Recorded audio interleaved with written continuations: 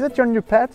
So nice. Did you know that keeping goldfish in a dark room can lead to a transformation? Yes, if you keep a goldfish in a dark room, it will eventually turn white. This is called skin clearing. Goldfish without light will lose its pigmentation and become pale, and eventually it will turn white. So now you remember that you should not only feed it well, but also give enough light.